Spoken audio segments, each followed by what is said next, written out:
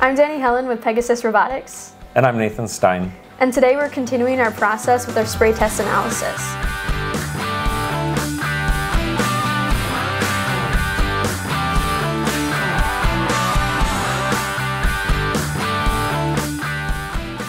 So right here we have all of our paper with our dye swath on it, and then we also have our swath gobbler and our computer to anal analyze it.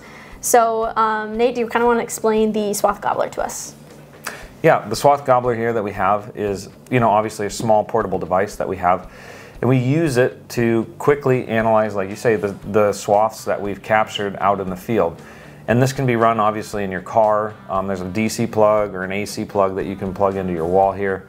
Um, it's much more comfortable here in the office, so we're going to go ahead and do that here in a short bit. But there's some software you install on your computer, and then you plug in some USB cables and you're ready to go. So now we're gonna start in the process. So I have our receipt paper here and I'm gonna get to feed it through the swath gobbler. But before we do that, you have to get it ready. So what are, uh, what are those steps you have to do to prepare it to take in our receipts? Yeah, so we're gonna go ahead and set up our swath gobbler. We've got it connected and the powered on. We do connect it to our computer and then there's some software that I've installed from Application Insight on here that uh, directly connects to this device. So all I have th those things set up, we're ready to go ahead and uh, get the paper ready.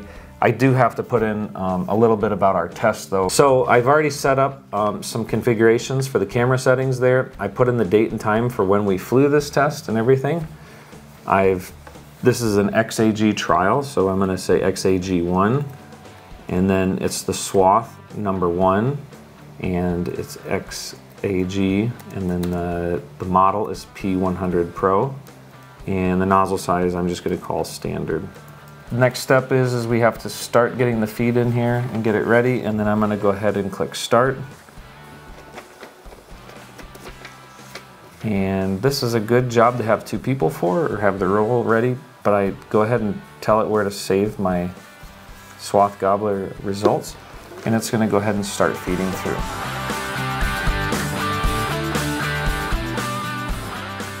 So we just finished scanning one of our swath tests for the XAG P100 and now we're gonna scan a swath test for the DJI T40. And then once we're done scanning this one, they both go into a folder and then we're gonna start our analysis and then we'll show you what that looks like too. So now that we've collected all the data from our swaths, we're gonna start doing the analysis. So it took about two and a half minutes for us to go ahead and scan these images through and you know 500 images were analyzed. And you can see each one of those data points are collected here on this graph that they put in front of us you know, we can go through and add some analysis notes that we're looking at here. What am I seeing on this, uh, or I guess what are you seeing on the swath uh, data that we see in front of us? Well, for one, it looks like we kind of missed by that drop towards the end of there. We definitely missed the paper.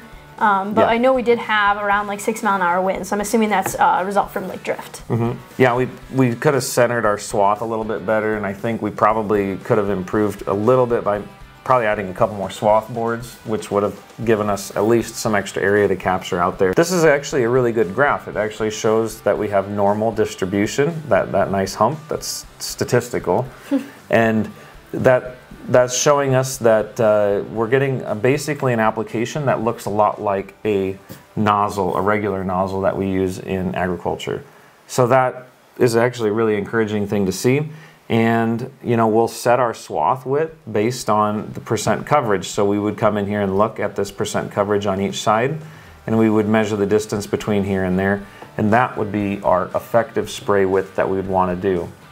We do want to have overlapping coverage and this is really neat thing to have here because now we can say hey we want to put you know a little bit of overlap on each one of those so that the, these areas where there's lower coverage can get enough coverage to, to get the, the product on the leaves. And that's what we really need to make sure that we get a good spray pattern. Okay, so you know, obviously you can see from all the different data that we've gathered, we have a lot more things to analyze and, and to learn about our spray patterns. Um, we can learn a lot about the DJI. We can learn a lot about the uh, the XAG products that are out there for spray spray swath with and, and how to better apply chemicals in the field. Yeah, there's many variables that can affect it. Like for instance, we had six mile an hour wind.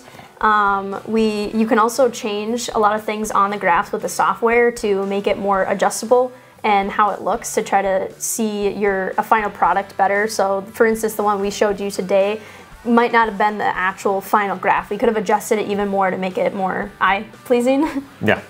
And that was the process of the swath gobbler. So I'm Dani Helen with Pegasus. And I'm Nathan Stein. And we thank you for watching. And if you have any more questions on it, please write down in the comments below. And if you're interested in getting one yourself, please give us a call and like and subscribe for future videos.